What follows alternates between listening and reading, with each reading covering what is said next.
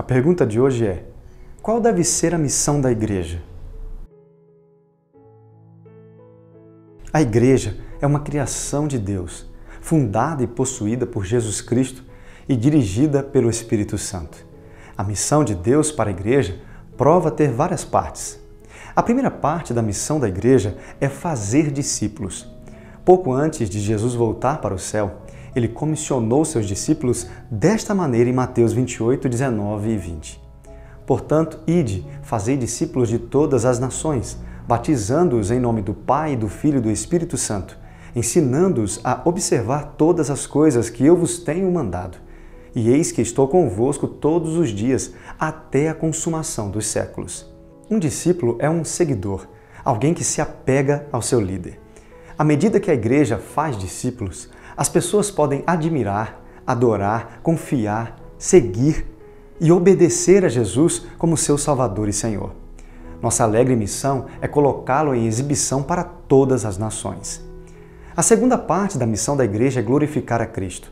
Paulo escreveu em Efésios 1, 11 e 12: Nele digo, no qual também fomos feitos herança, havendo sido predestinados conforme o propósito daquele que faz todas as coisas segundo o conselho da sua vontade, com o fim de sermos para o louvor da sua glória, nós, os que antes havíamos esperado em Cristo.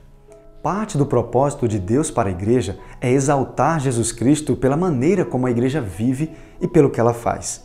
Cristo projetou sua igreja para representar ao mundo sua obra sobrenatural e salvadora de vidas. Em sua igreja, Cristo mostra ao mundo o que um povo liberto e perdoado pode ser. Pessoas satisfeitas com Deus como resultado do alto sacrifício triunfante e alegre de Cristo. Ele espera que o estilo de vida dessas pessoas reflita o seu caráter. Assim como a lua reflete o sol, a igreja deve refletir a glória de Deus para um mundo escuro. A terceira parte da missão da igreja é edificar os santos. A igreja deve encorajar e confortar seus membros individualmente. 1 Coríntios 12, 25 relata: Para que não haja divisão no corpo, mas que os membros tenham igual cuidado uns dos outros.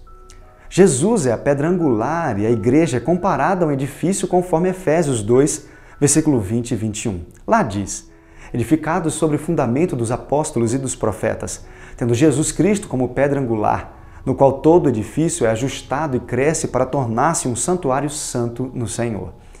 Jesus Cristo projetou sua igreja para mostrar a família de Deus na terra, para que o mundo pagão pudesse ver como Deus constrói sua família em torno de Jesus Cristo e como essa família cuida um dos outros. Esperamos que esta resposta o tenha ajudado. Siga-nos em nossas redes sociais pelo Facebook e Instagram. Baixe o nosso app disponível em iOS e Android. Visite também o nosso site para conhecer mais conteúdo como este. E não se esqueça de se inscrever aqui no nosso canal e compartilhar com seus amigos e familiares. Deus abençoe grandemente a sua vida e até o próximo vídeo.